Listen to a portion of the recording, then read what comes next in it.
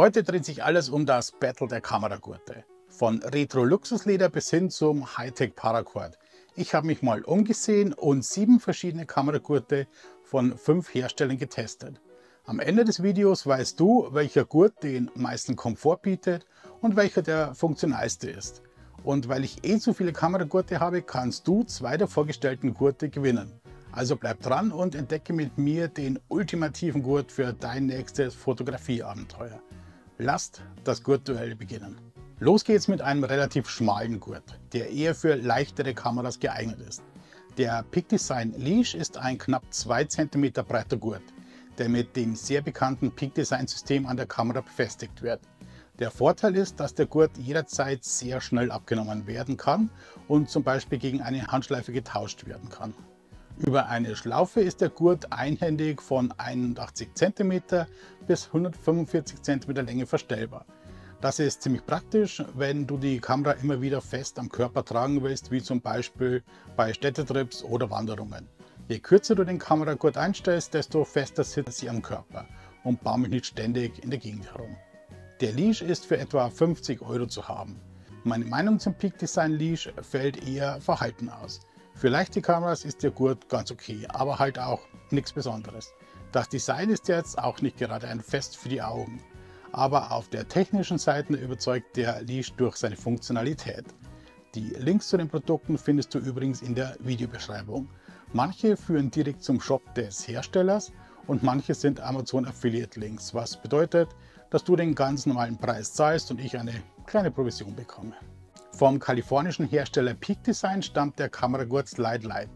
Wie der Name vermuten lässt, ist er die etwas schlankere Variante des ebenfalls erhältlichen großen Bruders Slide. Der Light hat eine Breite von 3,2 cm und eine Tragfähigkeit von 90 kg. Somit ist das Light für deutlich schwere Kameras bestens geeignet. Wie alle Kameragurte vom Peak Design ist auch das Light mit den omnipräsenten Ankerlinks ausgestattet und somit ziemlich flexibel. Dazu trägt auch ein kleiner Bügel am Gurt bei, mit dem äh, die Länge von 99 bis 146 cm verstellt werden kann. Der Gurt ist auf einer Seite mit einem rutschfesten Material durchzogen. So kannst du ihn mit einem Handgriff auf deiner Schulter fixieren und verhinderst so ein Hin- und Herrutschen der Kamera. Auch wenn ich ihn nicht mehr nutze, mag ich den Slide Light ganz gerne. Er liegt angenehm auf der Schulter und hat einige ziemlich interessante Features, die das Handling erleichtern. Der Preis liegt bei etwa 80 Euro und zu haben ist das Slide Light im Herstellershop selbst, bei vielen bekannten Online-Shops oder auf Amazon. Den Zero Traveler hatte ich schon mal und habe ihn dann verkauft. Ich wollte diesen Gurt aber unbedingt mit in den Vergleich aufnehmen, da er mir damals sehr gut gefallen hat. Deshalb habe ich beim Kölner Hersteller angefragt und für diesen Vergleich ein Exemplar erhalten. Aber keine Sorge, ihr hört trotzdem meine ehrliche Meinung und kein Marketing-Blabla. Der Traveler ist aus handgeflochtenem Paracord gefertigt und trägt sich sehr angenehm auf der Haut. Daran ist nicht nur das Material, sondern auch ein etwas breiterer Teil in der Mitte des Kameragurts schuld.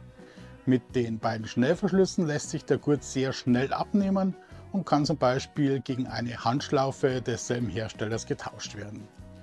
Mir gefällt der Syrup Traveler nicht nur außerordentlich gut, ich finde auch, dass er einer der Gurte ist, der sich am angenehmsten trägt. Der Traveler ist in verschiedenen Längen für etwa 50 Euro äh, direkt im Shop von C-Rope erhältlich. Der Arkham 25 fiel mir mal in einem YouTube-Video auf. Ich habe mich dann auf die Suche gemacht und den Gurt von Artisan Artist bestellt. Richtig gut gefällt mir bei dem Gurt der Lieferumfang. Es sind nämlich insgesamt vier Schnellverschlüsse dabei. Zwei mit einem dicken Band und zwei mit einem relativ dünnen, sodass du je nach Öse an der Kamera und natürlich je nach Gewicht der Kamera den passenden Schnellverschluss wählen kannst. Der Arkham 25 ist 24 mm breit und hat eine variable Länge von 72 bis 115 cm. Aufgrund meiner Statur ist mir der Gurt leider etwas zu kurz, vor allem weil ich meine Kamera gerne diagonal über die Brust trage. Der Kameragurt lässt sich mit Hilfe einer Schleife mit einer Hand in der Länge verstellen und ist durch den Schnellverschluss leicht abnehmbar. Mit 80 Euro ist der Arkham 25 nicht gerade günstig und auch nur in ausgewählten Online-Shops erhältlich. Das Material ist überraschend weich und trägt äh, sich auch ziemlich gut äh, auf dem T-Shirt im Sommer. Leider ist mir der Kameragurt von Artist on Artist etwas zu kurz, was wiederum gut für dich ist. Ich verlose nämlich diesen Gurt mit dem gesamten Zubehör.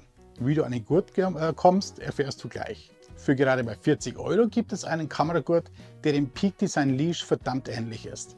Der Falcam MagLink Kameragurt setzt auf ein eigenes magnetisches Schnellverschlusssystem und ich bin ganz ehrlich, ich habe diesem System anfangs überhaupt nicht vertraut.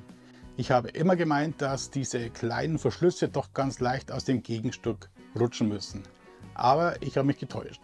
Die Teile sitzen richtig fest und lassen sich tatsächlich nur lösen, wenn man an der richtigen Stelle zieht. Den fast 20 mm breiten Kameragurt gibt es im Shop von Ulanzi. Er lässt sich über eine Schlaufe am Gurt sehr schnell in der Länge von etwa 80 cm bis 1,40 m verstellen. Zwar trägt der Falcam MacLink bis äh, 60 Kilo laut Hersteller, in der Praxis wird der schmale Gurt aber eher an kleineren Kameras zu finden sein. Da ich diesen Gurt ebenfalls nicht mehr nutze, hast du jetzt die Chance, den Falcam MacLink oder den eben erwähnten Artisan Artist AKM25 Kameragurt zu gewinnen.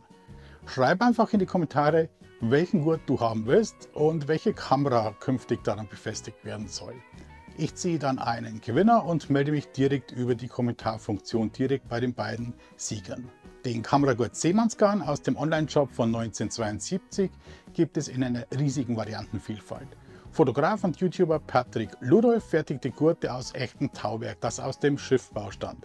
Die Enden werden gespleist und so entweder ein Schlüsselring oder ein Peak Design Schnellverschluss eingearbeitet.